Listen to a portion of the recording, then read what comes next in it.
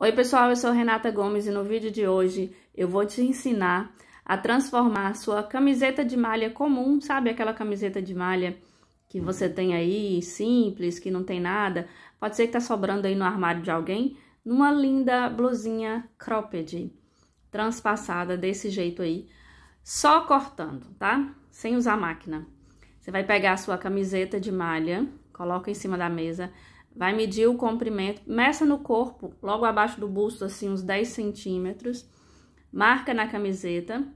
Você vai dobrar essa camiseta ao meio, aberta, assim, do jeito que você tá vendo eu fazer aí. E aí, você vai marcar na parte, ajeita bem direitinho.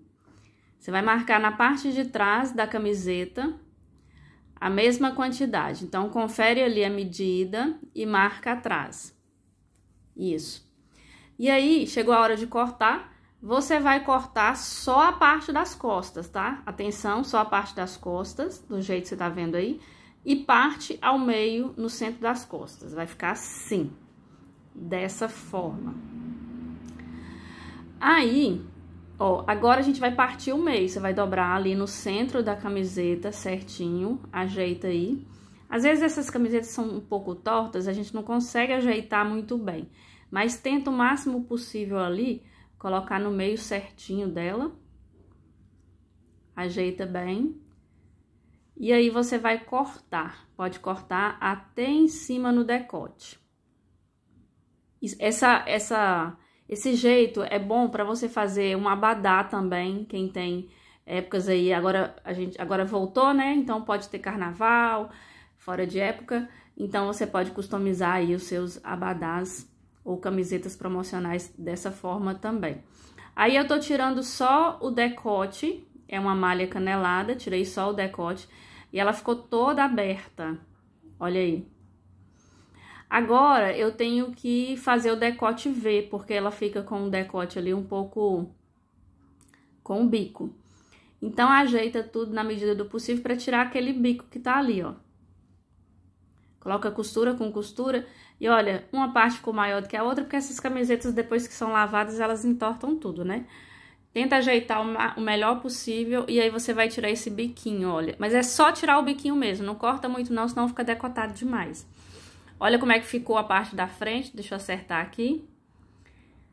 Ó, e aqui a parte de trás.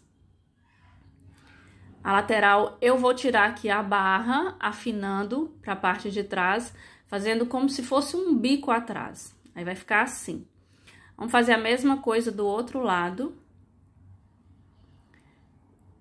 Tira, tira a barra todinha, formando um bico atrás. Ok, pronto, fica assim. Vou ajeitar ela aqui. A gente ainda vai cortar mais, você vai juntar a parte da frente dessa forma aqui. Coloca as, os cortes um em cima do outro. E aí, esse corte, ele vai até o meio ali, deixando uns 10 centímetros só na parte da frente, tá vendo? Só fica um pouquinho. Aí, eu vou descer cortando até o meio dessa sobra de tecido. Peraí que eu vou virar aqui, que eu sou canhota, eu só consigo de um lado. E vou descer cortando ao meio ali, ó. Então, você faz meio que um caracol com a com a camiseta. Fica assim. Aí, vou tirar os bicos, excessos de, de malha. Tira essa ponta aqui. Aqui eu vou tirar mais essa ponta e vou fazer mais fininho aqui. Pra ficar tipo uma ponta também, pra na hora de amarrar não ficar esquisito. E ainda vou tirar esse bico aqui da frente também. Porque isso tudo vai enrolar e formar a, o transpassado da blusa, gente.